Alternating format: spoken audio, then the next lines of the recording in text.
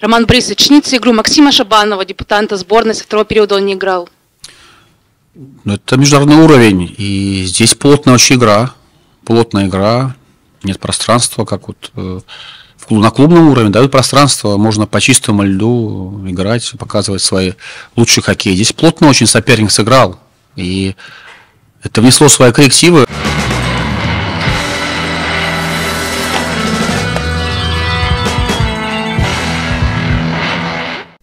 Привет! Сын Дениса Зарипова, Артур, неожиданно подписал взрослый контракт с командой ВХЛ. Он будет выступать за Казанский Барс.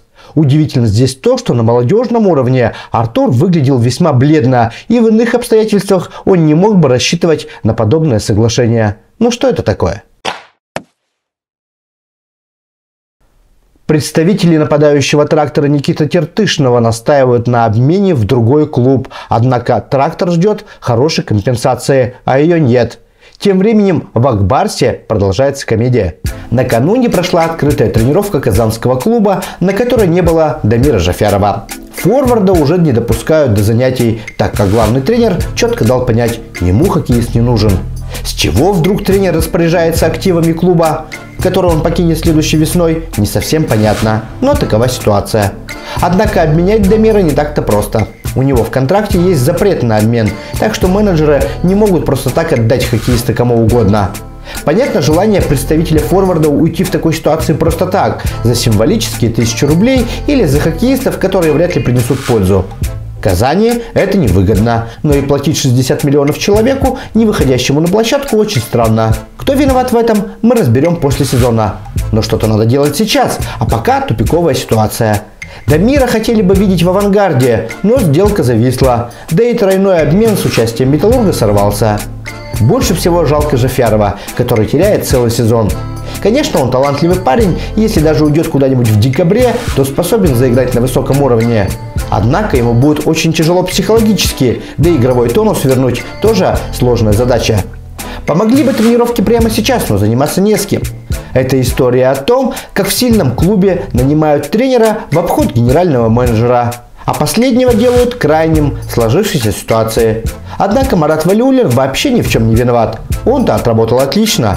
Тренера надо менять. Не работал с казанской командой и защитник Алексей Марченко. Вероятно, он впервые выйдет на лед только после праздников. Нападающий системы Оттава Егор Соколов неожиданно подрался в матче АХЛ и выглядел он так себе. Но мы переживаем в Северной Америке совсем за другого хоккеиста. Александр Овечкин обновил собственный антирекорд. Он не забивает 11 матчей подряд. Этой ночью хоккеист провел на льду против Филадельфии 22 минуты. Его команда уступила в серии буллитов, но на счету самого знаменитого хоккеиста мира нет набранных очков. И показатель полезности – минус один. Александр нанес 4 броска, но пробить Самуэла Эрсона не получилось. Что же происходит с Овечкиным? Это временные трудности или большой кризис? Однозначного ответа нет.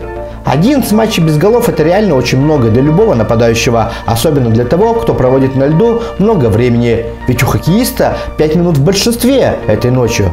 Но в чем же основная причина кризиса? Александр не мог так резко сдать.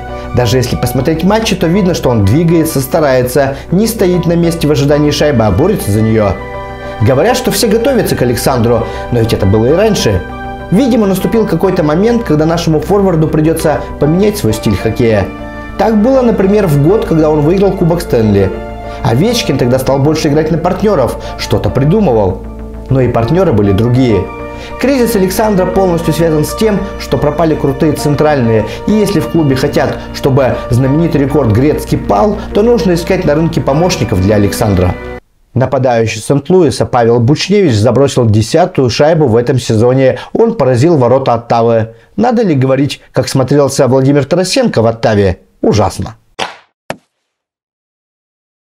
И последнее. Нападающий 2008 года рождения Илья Морозов подписал контракт с клубом Американской юниорской лиги. Ну и кто у нас там ответственен за то, чтобы российские ребята не уезжали? Вы работать собираетесь? До свидания.